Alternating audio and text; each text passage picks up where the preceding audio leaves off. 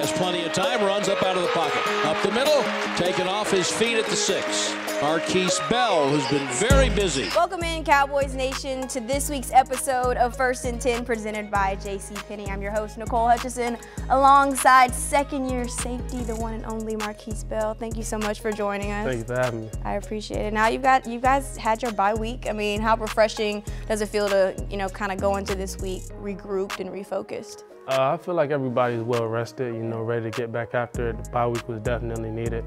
So got us a little time to, you know, unwind, uh, get back with our families, just do the uh, things that, that matter. Yeah. You know, now we're back into it. And it certainly feels good to be four and two rather than three and three heading into Yeah, this week, right? I want to kind of go back and backtrack towards your story, right? It's kind of unique. Um, you went to Maryland, then you went to JUCO and found yourself at FAMU HBCU games. Shout out to HBCUs. Uh, but how would you describe your journey? A long one. Yeah. Yeah, it was long. Uh, so after leaving Maryland, I didn't really know what I was gonna do. Then, you know, end up going JUCO. wasn't trying to do that, but you know, it was it was a it was an eye opener for me. You know, the real world is you know it was here. Yeah. So I had to tighten up.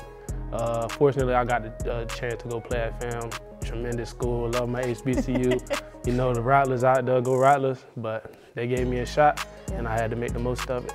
Yeah. Uh, a lot of guys came out of FAMU. I mean, you've got uh, Bob Hayes, Nate Newton, um, Hall of Famers right there, and I you're. talk to Nate all the time. Yeah, I mean, have you guys felt, I guess, built that relationship since you are in the same building? Yeah, now? since I've been here, I, I talk to Nate anytime I sing. That's awesome. Uh, I was actually, when I first got here, I was on his show. They had brought me in there to do his show. Yeah. Yeah, I love the guy, man. He's a great dude. A lot of people don't realize, I mean, how much HBCUs really kind of make you who you are. Uh, how much has FAMU played a part in, you know, your role and your success, really?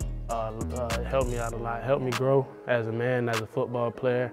Uh, you also get overlooked a little bit, so it gives you that that chip on your shoulder to actually go do the extra work that everybody else ain't willing to do, and they always gonna be behind you. The Rattlers always behind me. Anytime I look on my Instagram, Twitter, Yeah. always got somebody from you know Rattler alum just saying like, we rooting for you, Yeah. and always supporting me. And I went to Howard, so trust me, I know, I, I know how it feels. Uh, but you're a part of, you know, a rich legacy of guys who played in the NFL, successful guys like Nate and, you know, Bob. Just what does that mean for you to be a part of that legacy?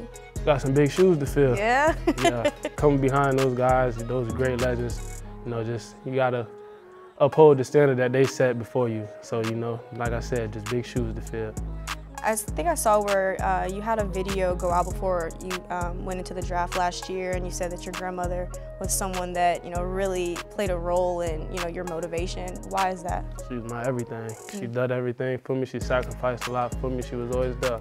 Anytime, you know, when I was left school, a lot of people turned their back on me, but she was always there supporting me, telling me like, you gotta get back out there, you gotta continue and just strive for what you want. And without her, I don't, I don't know where I would be right now. So I'm forever grateful for her. I think I, I listened to a quote you said you're playing for something bigger, right? Um, and of course that's your grandmother. How good does it feel to kind of give her the life that she wants and you know that she deserves? It, it, it feels good right now, but it'll feel a lot better when I get to buy that house. Yeah. Get to walking through those doors and be like, Grandma, this your house. like that, I don't know how I feel then. Cowboys blitz. He's running the ball and he is knocked off his feet by Bell. Yep, it is by Markquese Bell into the backfield. Now talking about your season with the Dallas Cowboys. Last year, of course, didn't play too much. This year you're playing um, and already through six games, you're one of the top four tacklers. Did you expect yourself to come in and make an impact so quickly? Or is that something like, hey, I was ready for this? Uh, I wouldn't say I was, I wasn't ready, but I wouldn't say I was. You know, it was a new position change, so you know, it's a lot of, lot of learning. But you know, when you got the great support that we have, coaches, players, everybody help you out, it's kind of easy, you know, to be successful. Yeah. The transition seems to be seamless for you, but you played a little bit. I know uh, you had a couple of packages with you inside the box. How much did that help you as far as this transition? Uh, it, it helped a lot, but also last year I played a little bit of the uh, linebacker as well in different packages. So you know they were they were molding me for it. I feel like, but I love that I could be able to go out there and help the team any way that I can. Snap back. has time now. He runs up out of the pocket. Now he's chased. There's a flag. And he's going to be sacked back at around the 43-yard line. You had a coming out party in week six.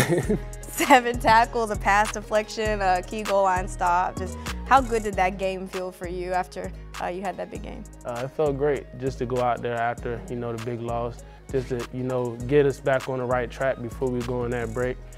Uh, it, it was amazing. Now we're heading into week eight. You guys have the LA Rams. They come into AT&T Stadium and that team has a lot of weapons. Uh, what challenge do those guys like Cooper Kupp, uh, Nacua, what, what challenge do those guys bring to you guys? Same challenge every team has. You know, everybody has great athletes. Everybody has playmakers on both sides of the ball.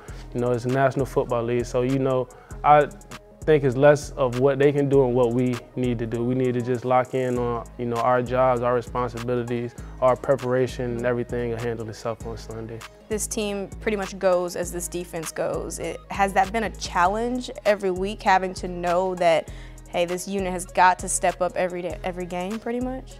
Nah, it's uh, I, I feel like we complement each other. Offense, we have a tremendous offense, yeah. great players on both sides. So. Mm -hmm I feel like if, if we're lacking anywhere, yeah. either side is going to pick the other side up. All right. Now at this point of the season, you guys have a couple of games that are, this stretch is going to be really difficult. Uh, what message does this defense want to send to those teams? More so not to those teams, to ourselves, we just got to keep moving forward. With every game, you know, we always got to just, there's going to be mistakes made. You just got to keep pushing forward, keep striving for what we want at the end of the year, which is that, that trophy.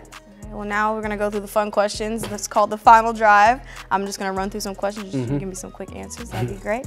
Um, all right, I'm going to start with this. What, are you, what do you most fear? Biggest fear? Uh, planes. All right, favorite I hate food? flying. You hate flying? Yeah, we ain't going to get into that. Oh, favorite food? Um, I love pasta. Pasta, what kind of pasta? Any type. All right, if your family had to choose one word to describe you as, what would they say? I'm quiet.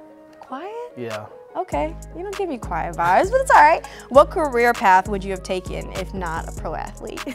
Lord, I think about that question every day. Mm. I, I, I, have no idea. What career do you see yourself? I, mean, I wanted now, to be a broadcast. I wanted to really? be, but then I don't really like talking in front of people. But like the more I do it, the more comfortable I am with it. Yeah. So I, I, I wouldn't mind doing that. Favorite memory at FAMU?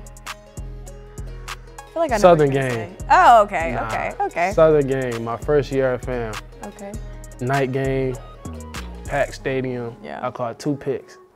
Okay, shout out to you. what Madden rating would you give yourself? Lord, Madden got me a zero right now, linebacker. But we ain't gonna talk about that, man. We go, we, we gonna talk about it. We gonna but, let them slide right now. Yeah, I'd say a good little 90. 90. I wouldn't, I'm not gonna go too high, but I ain't gonna, you know, low ball it. 90s, I feel 90 cool. All right. Who on the team are you closest with? Defense. I feel like the defense itself is like just a close knit group. Like we all we all hang out together. We all you know have our special little outings. Yeah. You know, different groups are closer, but like I feel like the defense as a whole yeah. is a special bond there. Do you have a hidden talent? Uh, I would say I can sing, but you know, people don't really think I can. Really? Okay. I'm playing. I'm playing. Oh. I can't sing to save my life. all right, well, thank you so much. Uh, I appreciate it, and I know all of Cowboys Nation enjoyed getting to know you these past 10 minutes. But that'll do it for First and 10 presented by J.C. Penney. We'll see you next week.